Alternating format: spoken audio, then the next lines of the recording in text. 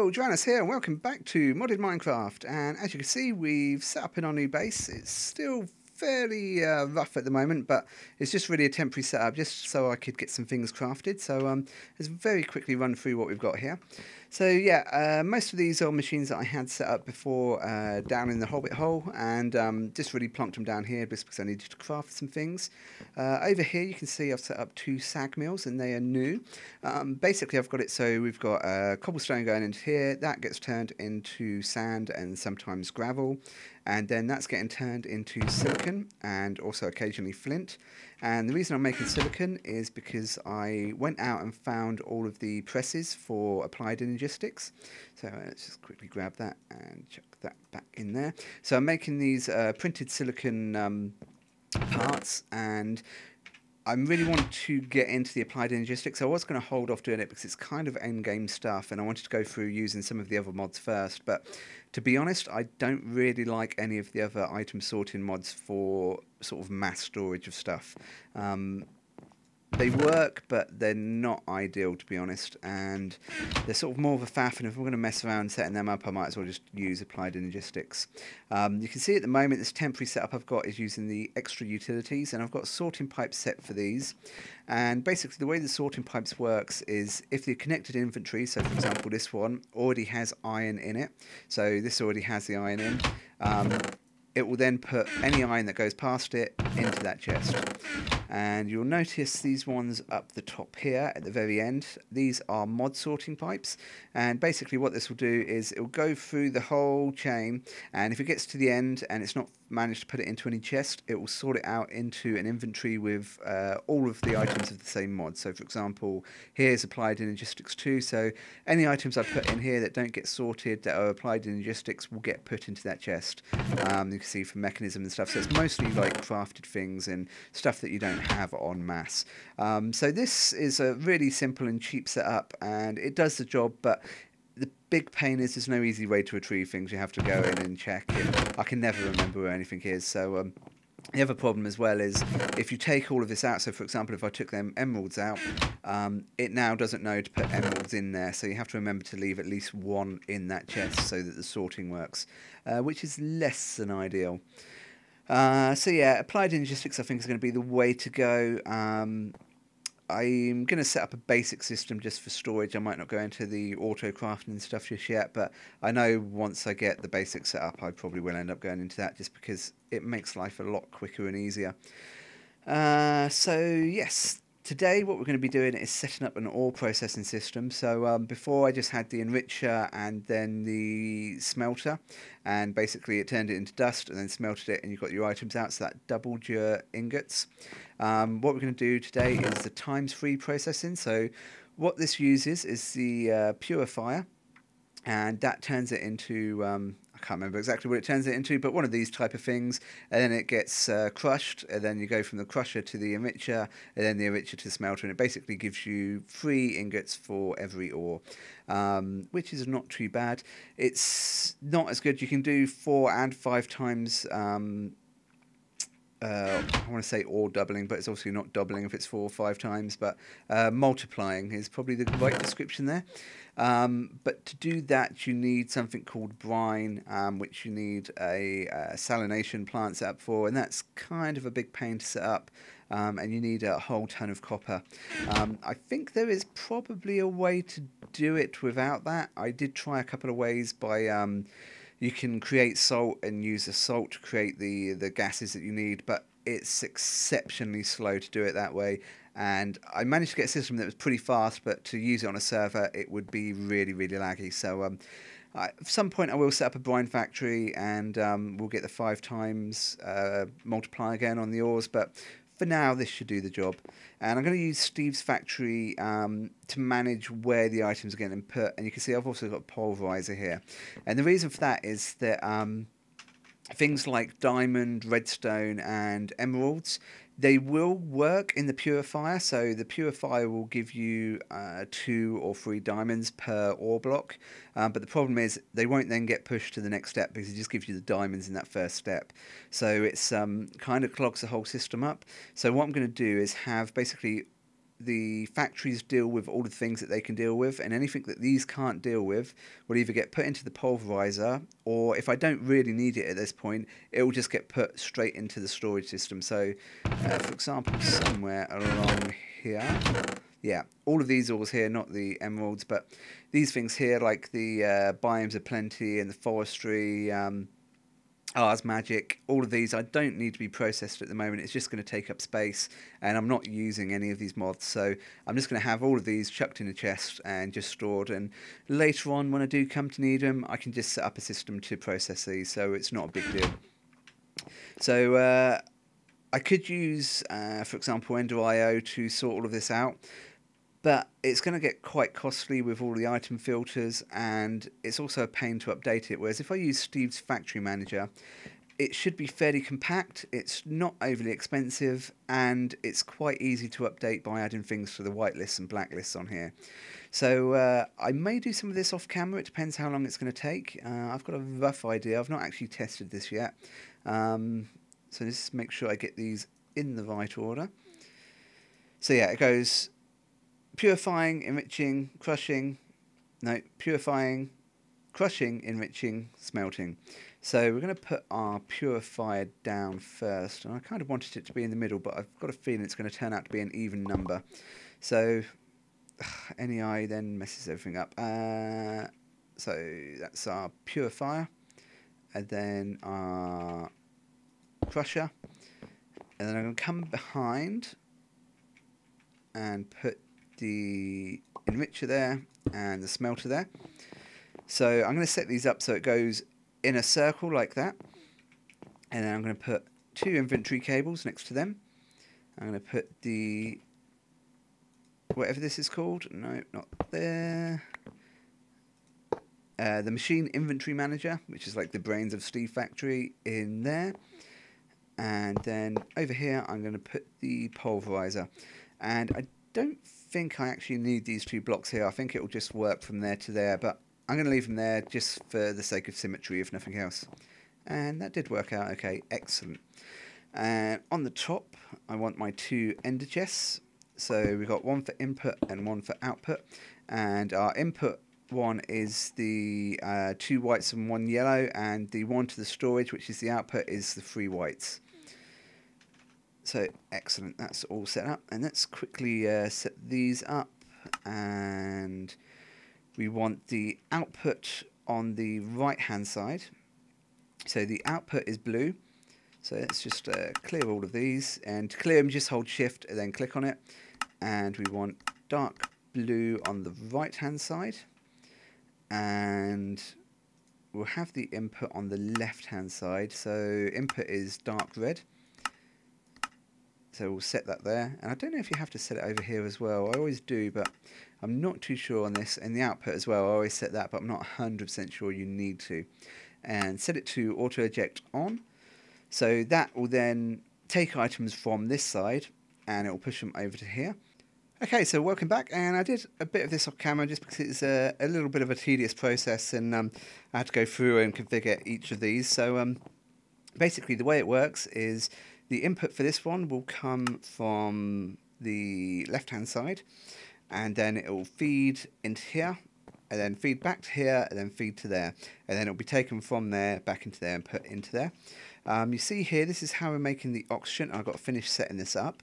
Uh, it uses the electrolytic separators, and basically I feed water into here, and it makes oxygen and hydrogen. And I'm actually just going to dump the hydrogen and I know I could reuse it. I can use it for a couple of things including uh, generating more power but um, to be honest for the small amount of power it makes it's not worth it when you've got a big reactor set up. So um, I'm just going to dump that off and we're going to put down some cable here and just run it along where are we going to set this up let's grab some glass somewhere in here. Uh, should have some Ender.io glass somewhere, is a little bit prettier. There we go. So let's just set up uh, do here, and we'll put that down for a second. And water source there, water source there. Let's get the transfer node, and put the transfer node down, and then connect that up. And then if we take that block back out, excellent. And we need to put the world interaction upgrade into here, and that should start pulling out water and filling these up with water. Brilliant. And that should be enough to keep up with these quite easily. Um, I've got these three gas tanks here just as a buffer. So um, when I'm not processing ores, these are going to fill up and there should be more than enough oxygen in there to do uh, big processes. And I've set the Digiminer up over here just to grab some ores um, very quickly just to test this system out. So uh, let's try it with the silver ore. And I also need to make some more speed upgrades and energy upgrades. So you see here I've got uh, 9 and 9 and this one's got 9 and 9 but these two here uh, don't. So that's 1 and 1 and that's 1 and 1 and I did have all of these upgraded but I had a few issues where um, I'd set all of this up and then moved it and it actually lost the items. So I've had to remake them so I'm going to have to remake the speed upgrades again. Uh, so if we chuck the silver ore in here and We'll just do it manually for the moment, and Steve's Factory Manager will manage all of this for us, but just to sort of show how it works, it's going to um, turn these into clumps. And then these get pushed across to here. So you see you get three silver clumps. And then these silver clumps get turned into dusts which are dirty dusts. And then they get processed from the enrichment. And then they get turned in here and get smelted so uh, yeah once these have the speed upgrades it's going to be a really really quick system. And uh, it does the three times uh, multiplication on the ores as well which is really cool and these should be keeping up just fine with oxygen projection. Uh, why do you have no oxygen? Uh, maybe because it's using it, it's draining it from there. That should be okay. I'll keep an eye on it. If it seems that we run out of oxygen, I'll just add more of them. It's not a big deal. So the next thing we need to do actually is set up Steve's factory manager. And I'm not going to go through the whole thing here now, but what we're going to have is a trigger. Uh, just to start it off, and we're going to have an input, which is going to be the input chest, which is the um, ender chest with the yellow on. And then the input is going to go out. Uh, how did I do this before? I did play around with this a little bit. And somewhere here, uh, we have a group node. Uh, do flow control. So basically we can use this to have one input and two outputs. So uh, input is going to come from the chest and then some of the output's going to go to here and some of it's going to go to here.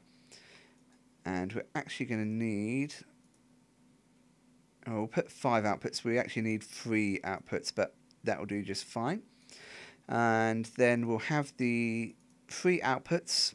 So one, two, three. One of them's for the pulverizer.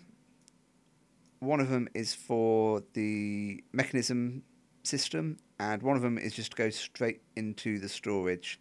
So I'm going to set all of these up, and once it's set up, I'll come back and show you how it's all set up, because it's going to take a while. I just have to set up whitelists and filters and stuff like that. So uh, yeah, I'll be right back.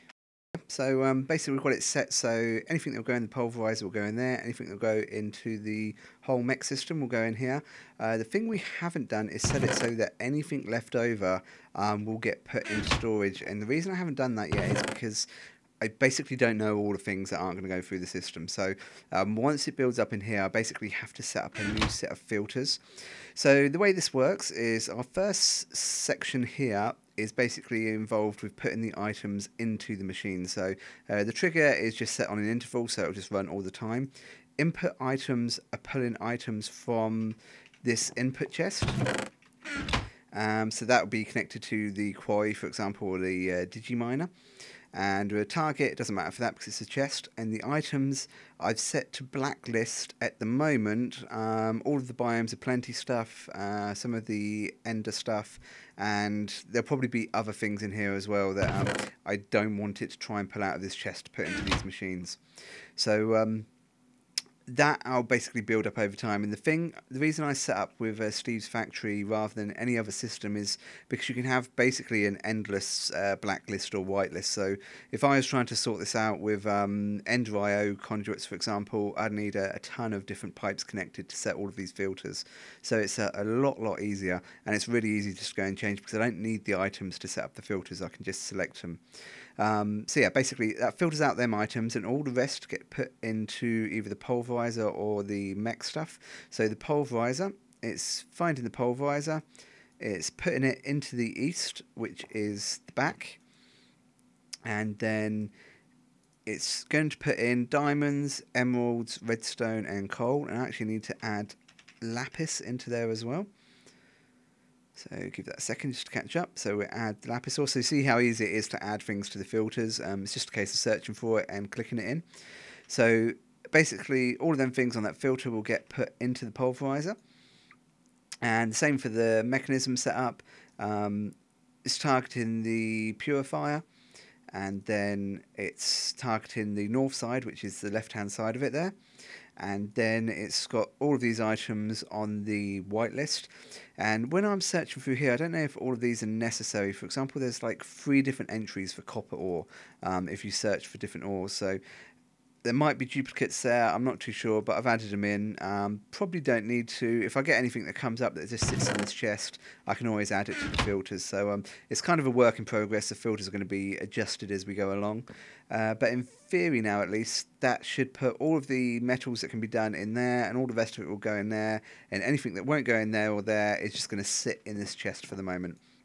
Um, so the next thing we need to do is get all of the processed items out of here. So we need to get it out of that block there and out of the pulverizer. So I've just set up another trigger here and basically the same thing. So this one targets the pulverizer for the inventory and it's pulling it from the self, which is the back. No, not the back, it's uh, that away. Yep. And it's then putting it all into the output chest, which is this chest here, which I've actually disconnected from the storage system at the moment just to make sure it's working okay. And same for Mekanism, it's targeting the smeltery and it's pulling the items out from the north, which is on the left hand side because that's where it's connected to the factory manager. And there's no blacklist or whitelist, it's basically anything that it can pull out of that side, it will pull out, and the same for there. So, uh, what I will do actually is um, I'm going to set a redstone emitter up here so I can turn this on and off. And once I've done that, I'm going to go and set the Digiminer up in the mining world and we can actually test the system just to make sure it's working okay. So uh, let me set that up and I'll be right back. So welcome back. I very quickly just put the uh, redstone receiver on there with a lever on so it's turned off at the moment and switched the trigger so while high. So it's basically the same as what we did with the uh, auto crafting setup. That's just so I can um, turn this off for the moment and we can check it's running. So I'm going to quickly zip on over to the mining world. So uh, warp mining. So welcome back. I'm just here in the mining world. Just going to set up the uh, digital miner. Uh, let's plonk down the anchor there. And we need to give it some power as well. So check the test Tesseract on the top. Should be using the external power. And make sure that's receive only. Excellent. And just check the ender chest on the back. And if you've not used this before, it's really, really powerful machine. It can do a lot of stuff um, other than just mining, so you can use it to sort of replace blocks. So say, for example, you build a big house out of cobblestone and you want to replace it with gold blocks, uh, this will do that for you, um, which is really cool. Uh, what we got it set to do here is we've got Silk Touch on, which uses a lot more power. So you can see here it uses uh, 2,400 RF per tick, and if we turn that off, it uses 400. So it uses an extra 2,000 RF per tick to do Silk Touch, but um, we definitely want that on. And if we go to configuration, you can see here I've already got a filter set up. And if we click on this, it's basically star or star, and stars are basically uh, wild cards. So anything that has or in the name um, will be picked up by the Digiminer basically. So if it's say for example lead ore, it will be picked up. So um, this should basically mine everything that's in range. And I just deleted that because the zombies scared me. Yeah, going for the villagers. Excellent. Uh, so yeah, set that up again. So ore dictionary, star, ore, star, hit the tick, it should come up and cycle through all the things that it will pick up and hit save. And radius is how many blocks out from the center block of this it will look. So we're just going to leave that at 10 so it's not too far out. And the minimum is 0, so that's bedrock. Maximum we're on actually 71. So let's set that up to, uh, let's set that to 75. So that will search from bedrock to level 75, which is just above where we are now. And if we hit start, you see there's 1,352 blocks to um, mine out, and that's chucking it all into this ender chest. So if I nip home now, and I'll meet you when we get back there, we should see all of this on the other side, and we can turn on the uh, Steve's factory and make sure it's all getting sorted okay. So here we are back at the base, and you can see all of the items are starting to come into this chest here. Um, so this should be a reasonable amount to test with. Excellent. So if we flip this on, you should see straight away that's pulled in the redstone to there. It's pulled in a whole bunch of different ones to there. And these ones should all be left in here until there is space for them. So we shouldn't be seeing anything go back into here apart from the outputs. So that all seems to be working just great. Excellent and it's not got to this stage yet. I need to get the speed upgrades for this still, but I shall do that off camera, I think. Mm. Yep, I think this is just processing it that quick, you can't actually see it going through. So let's have a look in here again. Yeah, excellent. So yeah, that seems to be working just great. So like I said, the last thing I need to do is basically um, set up a, another one of these to go through and filter out anything that doesn't get processed by this and just stick it straight into the storage chest. Um, which is fairly straightforward, but it's going to be a long-winded process because I need to see what all of these ores are going to be that I can't process. Um, I will also need to set something up for the yellorite because this will work in the enrichment chamber, but it doesn't work with the purification chamber. So I might just set up an enrichment chamber and a smeltery um, just to do that. So I'll add this onto the system. But uh, the good thing about the system, it's really easy to expand. I just got to put a couple more cables down and chuck the machines down and add it in here. So um, yeah, pretty good. Um, I think I'm going to set up, let this run through, set up the rest of the filters, and then I'll show you the final results when we've got all of the rest of the filtering in place. So welcome back, and I've got this more or less finished now. I've run into a couple of snags. Um, one problem is that the bauxite ore and the sulfur ore do not show up in Steve's uh, factory manager. So when I try and add these to any of the list and you search for them, they just don't show up. So um, what I'm going to have to do is just use uh, Ender.io conduit, and I'm going to put a filter on here and I'm just going to chuck these into the filter so that it'll just pull them out and chuck them straight into the output chest. So uh, let's just set that and we want it to extract, we want the filter, uh, we want the bauxite and the sulfur ore, always active, and set that to insert. So in theory that should just pull them out. Excellent. So yeah, that's pretty much it. We've got the uh, SAG mill here, which is dealing with uh, basically just the yellorium at the moment. Um, and then we've got the pulverizer for the other bits that we had there before. And I think I've covered everything. There's probably going to be bits that turn up that um, I haven't got in any of the filters, but uh, you can see here this is sort of uh, spread out quite a bit. So this is same as before. All the stuff that's getting processed uh, goes through here and gets filtered into each of these machines.